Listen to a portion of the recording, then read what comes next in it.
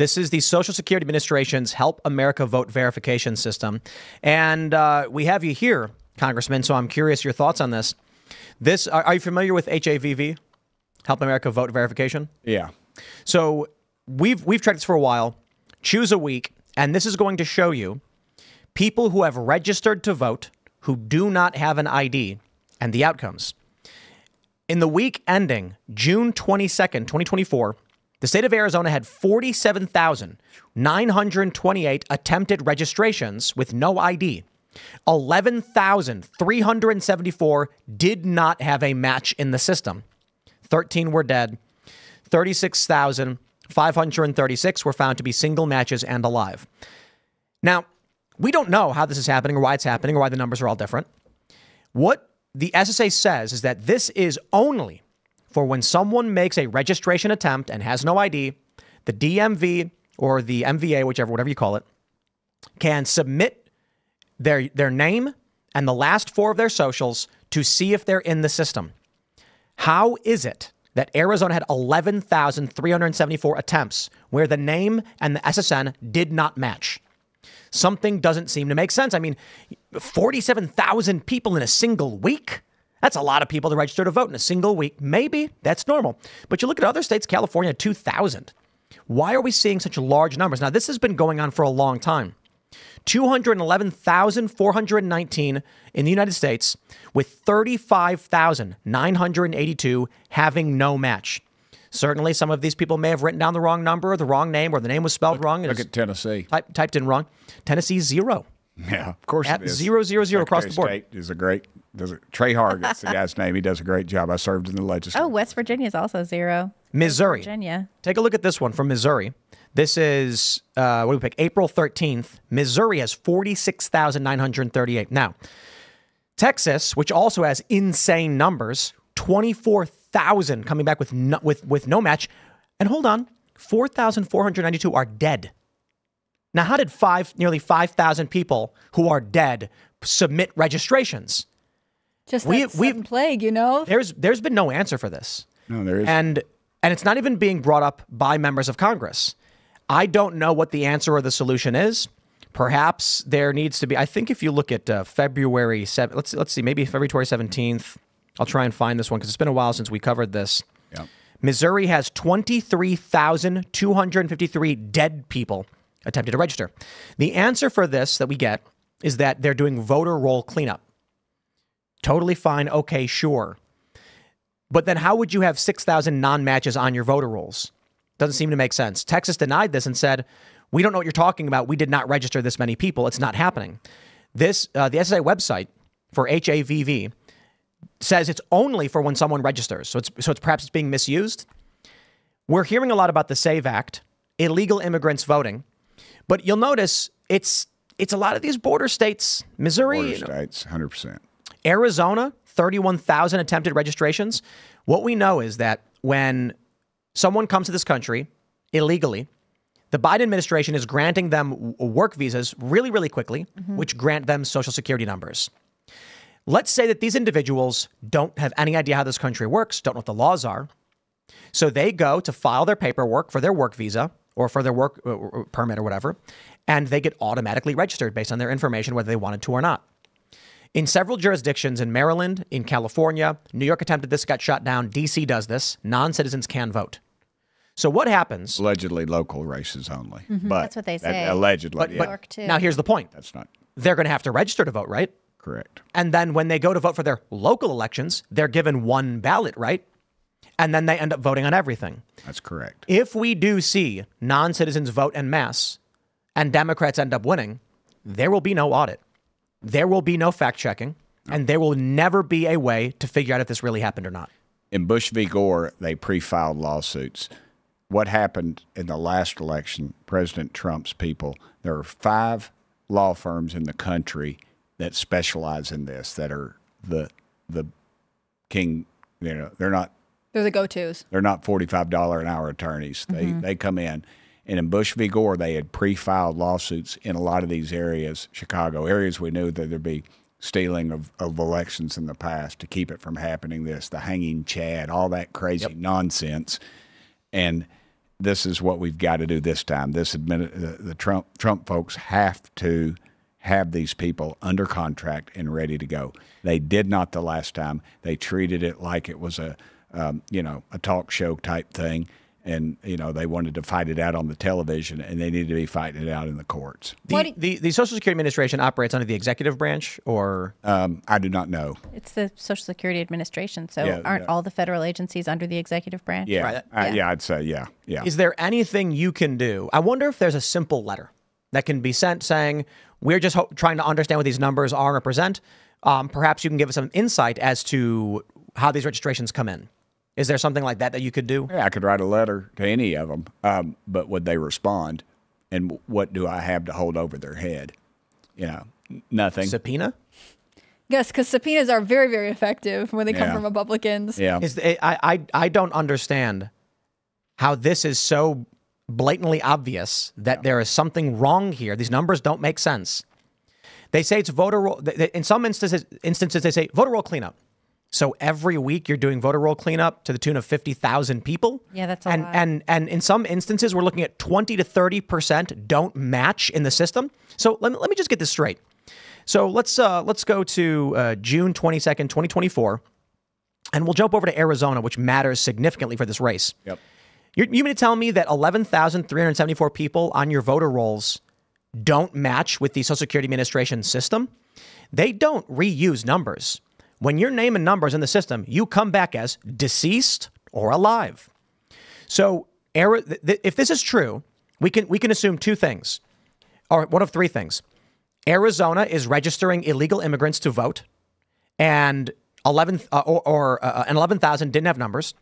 We can assume this is voter roll cleanup, and that Arizona somehow had 11,374 people on their voter rolls who don't have a social security number in the system.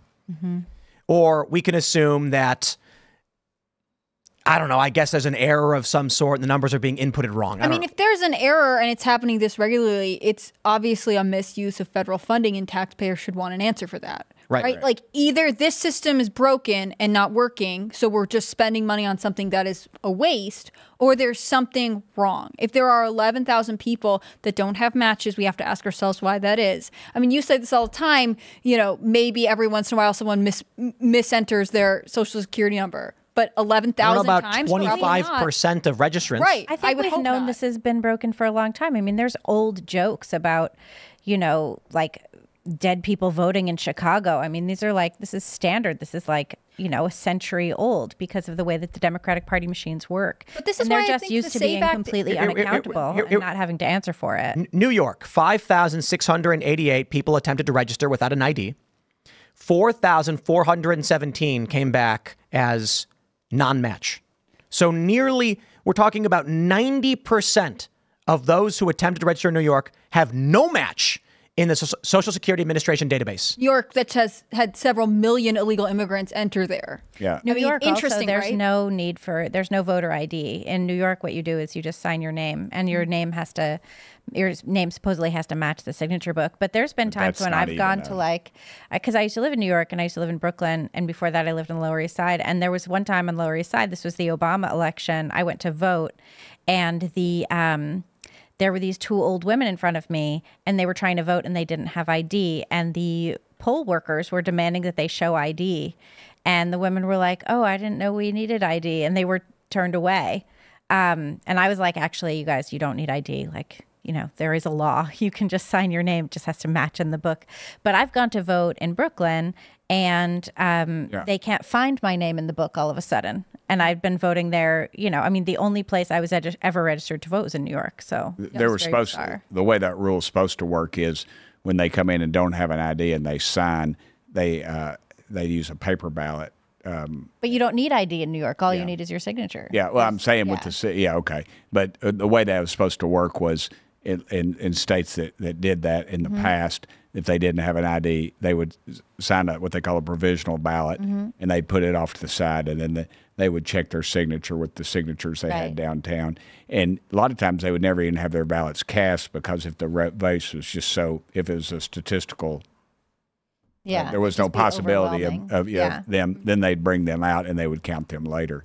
So it's a um, It's actually a, it was actually an honorable process, mm-hmm. but it, it got abused, of course, and and now with, with computers and, and our technology we have now, there's no no shape, form, or fashion way they should be able to steal an election. So we- our we- poll we have- particularly well trained. I will tell you this: in Tennessee, our computers are not connected to downtown. They're not connected. I mean, I- I'm sorry, our our voter machines are not connected to the internet, any shape, form, or fashion. Well, they shouldn't be. They should not be. Well, they've they've said that about many states, and then they found that some of them are actually connected. Yeah. Uh, so the week ending June first, Pennsylvania Pennsylvania had 104,250 registration attempts.